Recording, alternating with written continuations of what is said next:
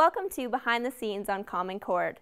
Creating a natural looking environment is much more of a challenge than you may think.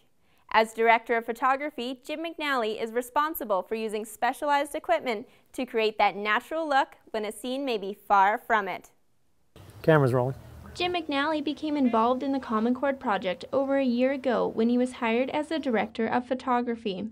His job is to use lights, lenses, and different colors to create certain moods, depending on the scene being filmed. The director of photography is ultimately responsible for taking the director's vision. Sometimes it's it's just in his head, and sometimes it's it's in a storyboard on paper, and bringing that to, to life um, using the, the technology at hand. 44B, take two.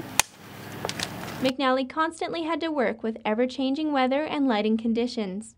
He says the biggest challenge is creating a scene that is fluid for viewers. So there's a lot of challenges of keeping light balance that you may be shooting uh, the exterior, exterior of a building today that matches to the interior of another building another day. Um, and trying to keep all that straight and not have it be jarring to the audience when it's finally put together is, is a challenge. That's your inside look for this week. To stay up to date on all things Common Chord, like us on Facebook or check us out at www.commonchordmovie.com.